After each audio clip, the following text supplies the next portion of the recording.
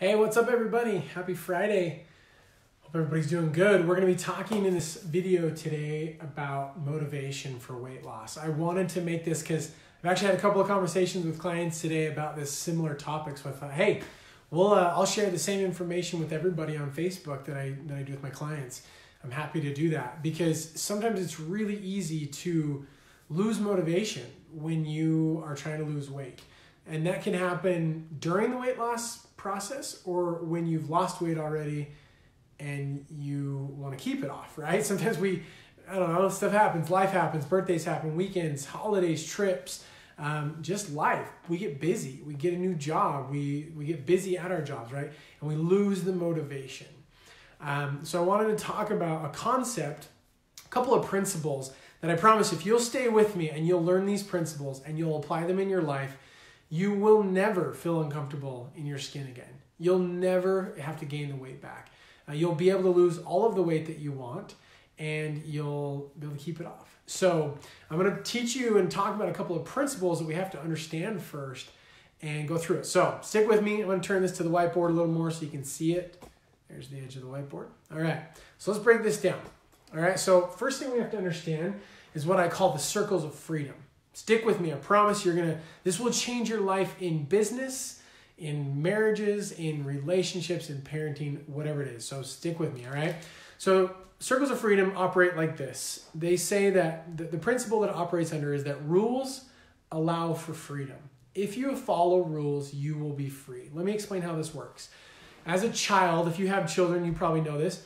Like when you're a kid, your parents say, hey, you can go outside and play but just stay in the yard. If you leave the yard, you're gonna have to come inside the house. So you leave the yard, and what happens? You gotta come inside. You break the rules, so you lose some freedom. You become a teenager, and your parents say, hey, you can have a car and you get your license, or maybe here's a cell phone, or hey, you can stay out till midnight or whatever time your curfew is. But if you break the rules, meaning you come in late, you speed, you get a ticket, you drive outside the city, whatever it is, you get bad grades, whatever your rules are for your children, they lose freedom. So here's how it works you start with a little bit of freedom, and the more that you abide by this rule inside here, you know, that circle there, you gain more freedom. Okay? And the more, and this, these circles can expand and they can shrink based on your adherence and, and abiding by the principles that they operate under. Okay, so you can drive anywhere you want in the United States and you can travel internationally as, as long as you follow the rules. What are the rules for travel? Well, you got to have a license, you got to abide by the rules of the road, you got to have a passport, whatever it is, right? You break those rules, what you can and you can go anywhere, right? So you can travel in the United States, you can go outside, you can you can drive anywhere you want in the world, but you start getting multiple tickets, what happens? Your freedoms are restricted. I've talked about this before, right? So your freedoms come back in, you lose freedom. So where does this come in and play with weight loss? Well, freedom with weight loss and freedom with your health means not having to feel uncomfortable in your skin. It means not having to worry about the weight coming back on, not having low energy or joint pain, not having to stress about getting chronic disease or dealing with your family history of diabetes. Uh, it means you know not having to feel feel out of breath when you walk up the stairs uh, to be able to go anywhere and shop and buy the clothes you want because you don't have to worry that they're going to fit because they're going to fit, right? Um, about looking good when you take your, your shirt off or you go to the, the beach, right? Uh, you know, depending on if you're male or female, probably. But you, you get what I mean. Freedom allows you with your health to enjoy those things. If you break the rules of health and how our body works, you will always, always struggle with your weight. Okay? So, of course, that goes into a whole nother lesson on what are the rules of health. And I've done lots of lives on that. That's what I teach people in the program. But anyway, this principle, though, is if you abide by the rules, you will never have to struggle with your weight. So let me share a rule with my own rule, my own struggles here. I, I have a total sweet tooth. I love, love, love treats and snacks. I love to eat chips and crackers and go out to eat and enjoy good food. Last night, if you missed it, I, I showed you how I made some uh, pork stuffed acorn squash. Just, I love food, right? And so I've always been a little bit thicker. I've always been a little bit overweight. I, I was 50 pounds overweight at my highest point, and I've lost it and kept it off. However, I still eat treats and snacks. I go out to eat. It's Friday night. You betcha. I say this all the time. Weekends is when I make treats. We are making treats. We're making delicious food. Um, we go out to eat. In fact, the other day we went and got burgers and fries. And the, the key is, is you're going, how in the world does this apply to that? Well, I abide by the rules or the boundaries that I set in order to keep the weight off. Okay. So I'm not talking about calories, by the way. I don't count calories. I don't count macros. I don't go to the gym to burn more because I ate something I shouldn't have. I could keep my weight regardless. And what I teach my clients, you can keep your weight regardless of if you go to the gym or not. How powerful is that? Talk about freedom. I am not a slave to exercise. I exercise because I enjoy it, and I exercise because I know it's a law, it's a rule of health. In order to be healthy, I have to do it. Notice I didn't say to keep my weight, right? You don't have to exercise to keep your weight. You have to exercise to be healthy in other ways, but not to keep your weight, okay? So this circle of freedom says this. If you abide by the rule, you'll be able to have all the benefits you want. You can go anywhere you want inside here. So here's some rules, and I'm, I'm getting into how you can, I'm going to have another principle I'm going to teach you. So stick with me.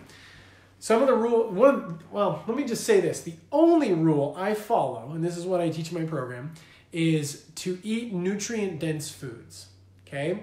Now, you're not to know what that means probably unless you know what nutrient dense foods are, but there's a whole list of them. I've done like multiple lives on it, and uh, if you want, I can go tag you in that live. Just say tag me in the nutrient dense video. Um, I'll go tag you in the live. So, um, but basically, it's proteins, veggies, fruits, nuts and seeds, uh, herbs and spices, all sorts of delicious, you know, eggs, avocado, all that stuff, right? I only eat those foods. I don't eat anything that's outside of that. So that's a rule. Well, then how then you say, how in the world, Jared, do you keep your weight off? How do you go and have cookies and brownies and ice cream and pumpkin pie and all these things? The holidays are coming up. I'm getting pumped. We just had a delicious like butternut squash sausage soup. It was really good.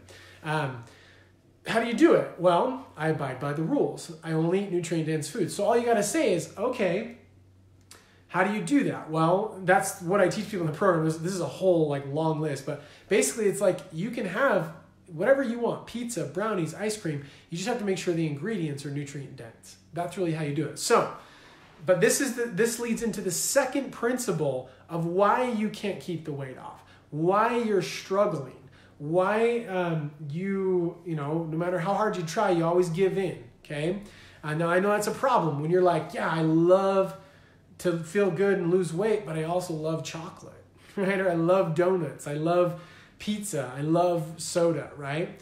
And you have these two conflicting things. And so the key is, let me write down this other principle. The key is is that you will never, and I say this with all confidence in the world, you will never keep the weight off until you have a strong enough why to do so. You will never lose the weight until you have a strong enough why to do so. Okay? And you might say, no, I'm totally motivated. Whoa. You might say, I'm totally motivated and I, I can't keep the weight off. Well, there's some, if you were truly like had your, your why, you'd figure out a way to keep the weight off. You would do it. Now, you, that, that means working with the right people, joining the right programs, getting the right mentors, doing the right things, eating the right foods, not eating the right foods, right? So you, if you knew, or if you really had a strong enough why, you would keep the weight off. Okay? So Sometimes we don't feel super motivated though, right? So here's how you stay motivated. Here's how you do it. Um, there's these things that we call goals, and there's things that we call standards. Okay, stay with me. You're gonna. This is gonna change your life. If I were to ask you, anybody watching this, Nick, Kirsten, uh, Jeannie, Sarah, Adam, Andy, how's it going, guys? If I were to ask you guys, do you brush your teeth? Uh, comment, go ahead. Um, I bet you're going to say, yes, I brush my teeth. Give me a yes if you brush your teeth, if you're watching this.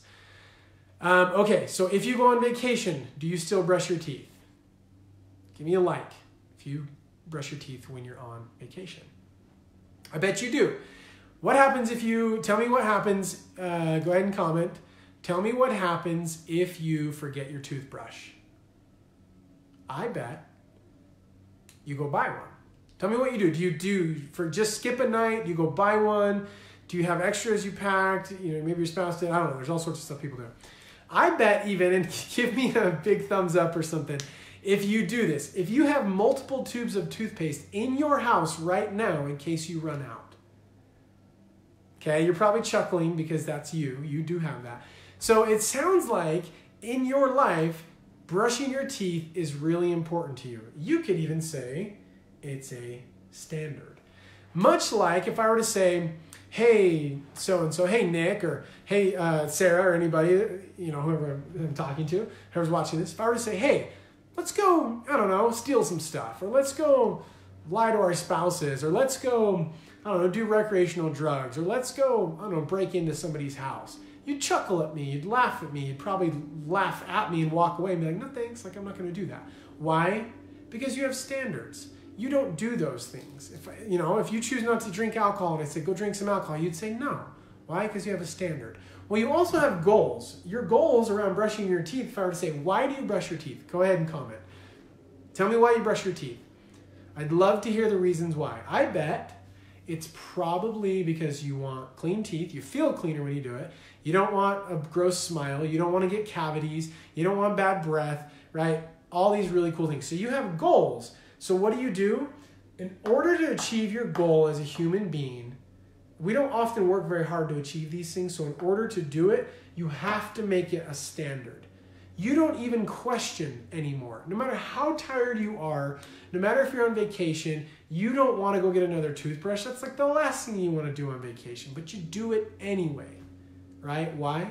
Because it's a standard to help you reach a goal. Okay? So when it comes to weight loss and having your why, remember, the only reason why you don't keep the weight off and haven't lost it is because your why isn't strong enough. Okay, so how do you make a, a why strong enough? Well, here's the goal. We call it permanent weight loss. Permanent weight loss. Okay? So what do you have to do to make it a standard? Well, there's all sorts of stuff. I'm not going to list them all out here, but you got to drink lots of water, you know, and not eat crappy food and eat nutrient dense food. So back to my example, not crappy, not crappy food. Back to my example. I only eat nutrient dense foods. Does that sound like a goal or a standard? That's a standard. Why? Because my goals, and I'll be personal here, my goals are, and this is what exactly what I told my clients. When I'm 70 years old, I'm in my mid 30s right now. When I'm 70 years old, I want to be able to run up Mount Timpanogos, which is right outside my window right here. I want to be able to run up that. I want to be able to jog up it. I want to be able to hike it with my grandkids and outperform them. I want to be able to take my shirt off when I'm 70 and 80 years old. And I want my grandkids to go, man, grandpa is ripped. Like he looks good. I want to be like grandpa. When my daughter, who's turning one next month, when she brings a guy home to think about marrying him, I want there to be such a high standard for the type of person that I am, including my health goals that she has to like it, it, it's in her mind the only person she wants to her husband to be like is her dad right? So yes i want to be a better father i want to be a better husband but i want to be physically fit as well. Because i want my kids to look at me and go man dad's ripped right? Now you might chuckle and be like you can't look ripped when you're 80 i know 80 year olds who look very muscular. I know them. They're still rocking and rolling. I want to outperform my grandkids on mountain bike when i'm 70 and 80 yeah that sounds nuts. It sounds insane but i know people who do it. I know people who slalom ski until November when they are 80 years old. I'm talking on like in Utah on a lake until November. It's freezing cold, just so you guys know that. Every morning, 6 a.m., they snowmobile. I had a guy in my life who was in his 80s and he died snowmobiling. Like, that's how powerful to me this is, right? It is that personal to me. That That's my goal. I have to create a standard now. When I'm in my mid 30s, I have to have a standard that's going to help me reach my goal. So the standard is I only, I only eat nutrient dense foods. If you were to say, Jared, here is a donut. I love donuts, just by the way. Uh, Chantel, how's it going? Sarah, that's a great goal. This is good info. Thanks for sharing. You're welcome, Sarah. Glad to glad to share. Um, okay, so if you were to say, Jared, here's a donut. I love donuts. Dunford, especially. I don't know if they have those everywhere. I know in Idaho and Utah they do. It's a chocolate cake donut with chocolate glaze on it, right? So good. Love them. If you were to say, Jared, here's a Dunford donut, you want it? I'd say no. No way. If you say, here's a thousand dollars, no. Here's five thousand dollars. I would not eat that donut. Ten thousand, no. If you pay me like a hundred thousand, maybe I would.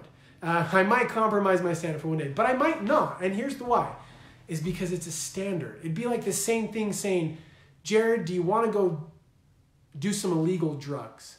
Jared, do you want to go steal from the grocery store? I'll pay you $100,000 if you go steal from a grocery store. Like, would you do it? Ask yourself, would you? I don't think I would. In fact, I wouldn't. Why? Because I have a standard. My standards are not worth any amount of money to me because it's who I am, right? And so when you ask me and you're like, when you tell me, like, as a person, oh, I just, I, I want to lose weight, but like that bread, those rolls are so good. You don't have any standards in your life. You don't are not practicing enough self-love in your life. You do not have a strong enough why to say no. That's what you're telling me.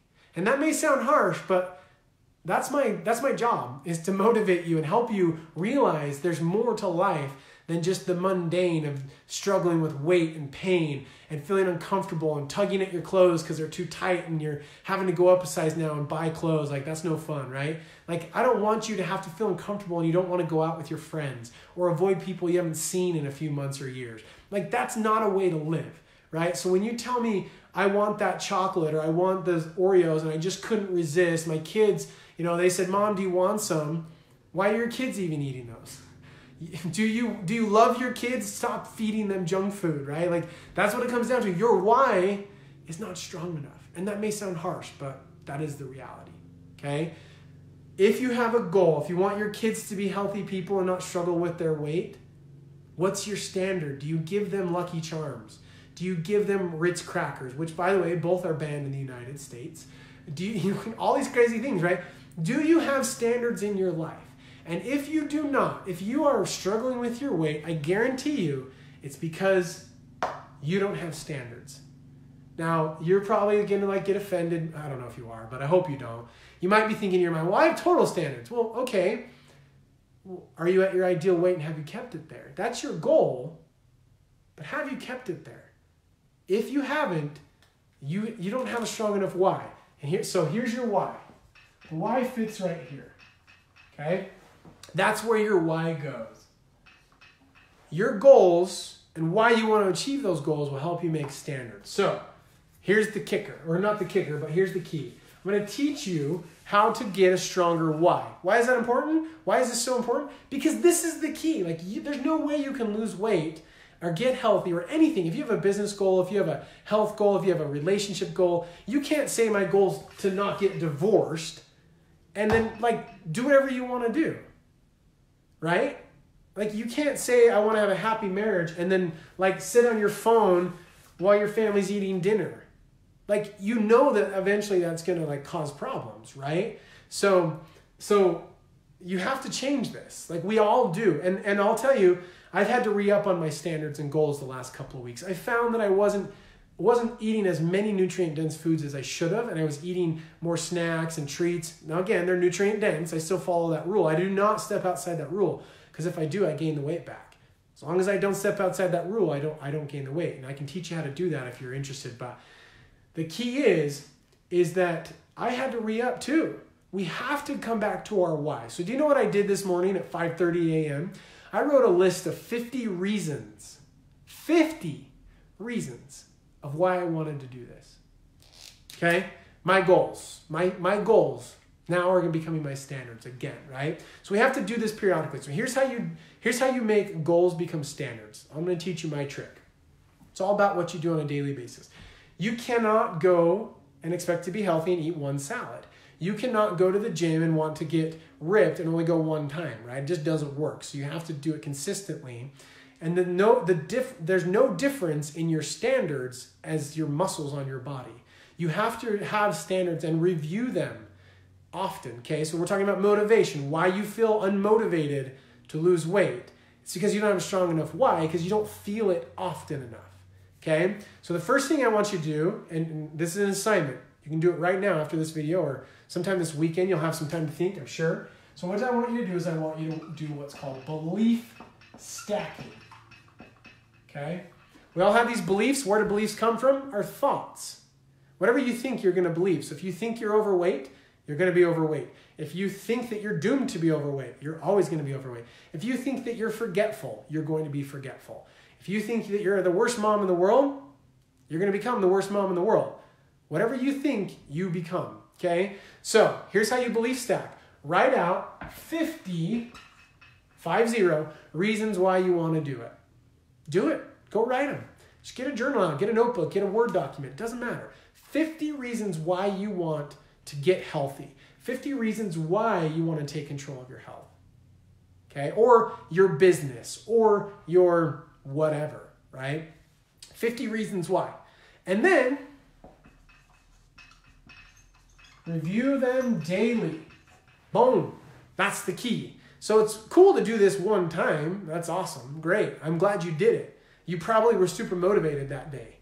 But imagine if you reviewed those or rewrote them, in fact, every single day.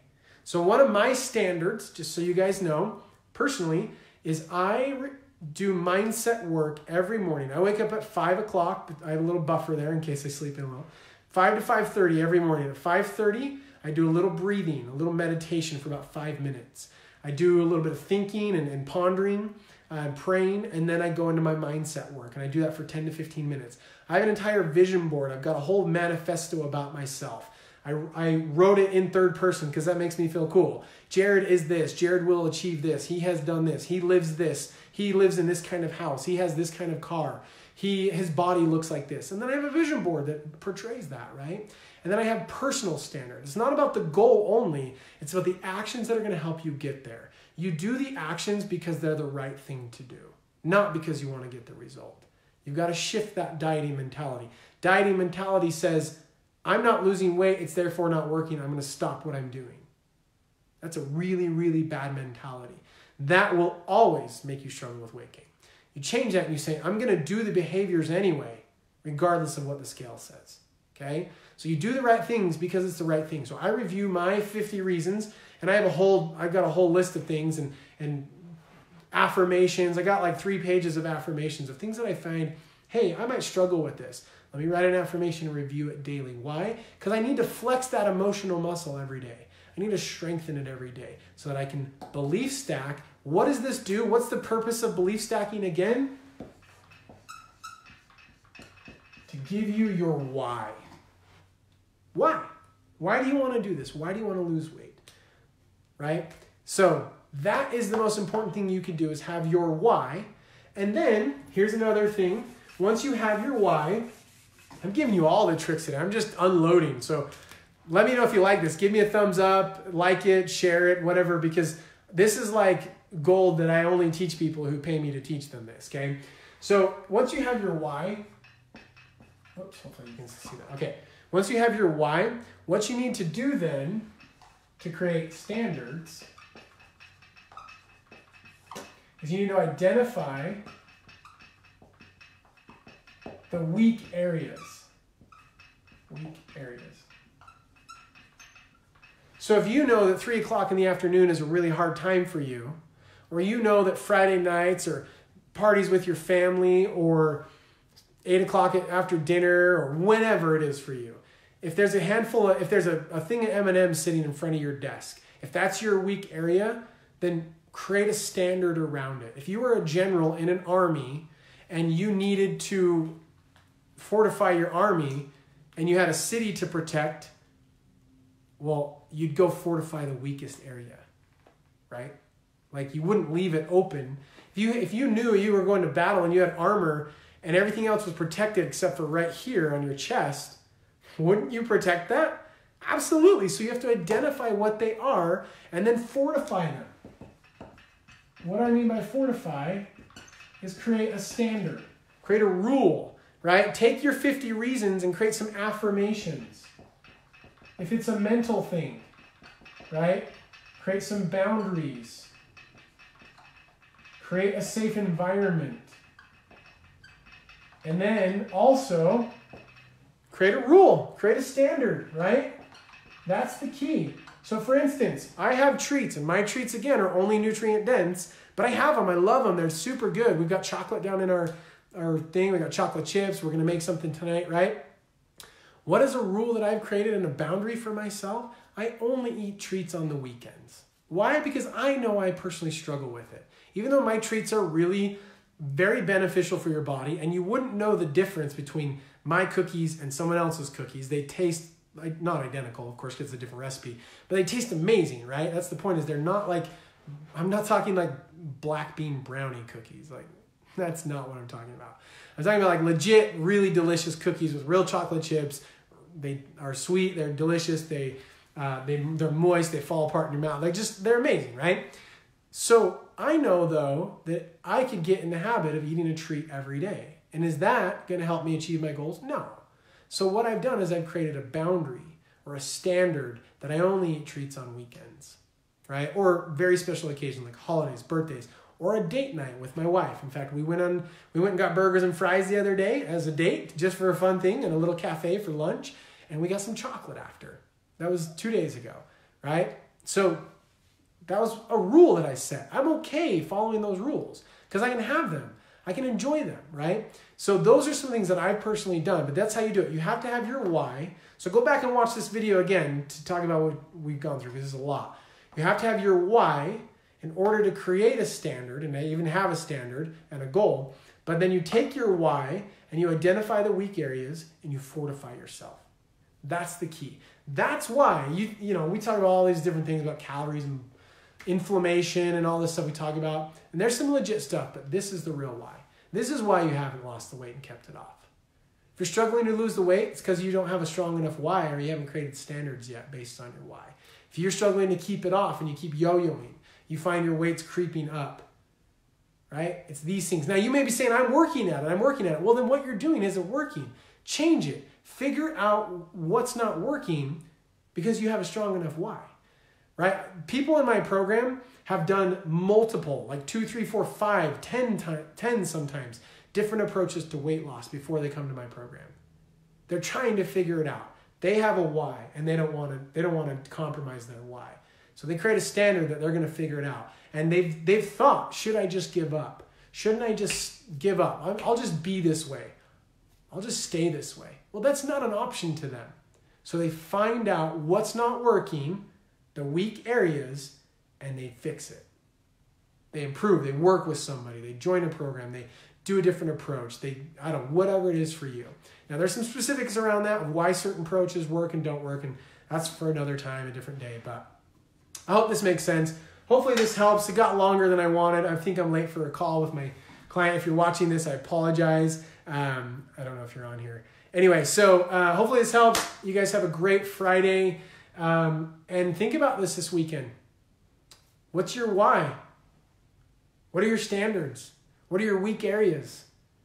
What goals do you have? And are your goals standards yet? Because if they're not, no matter how strong your why is, if you don't have standards, it's still not strong enough. Right? You still have to create the standards to reach your why. So, anyway, hopefully this helps. Let me know. Share it, like it you know, it's great, great information. It's changed my life. Hopefully, it'll do the same for you. Um, and uh, we'll see you guys later. Enjoy your weekend.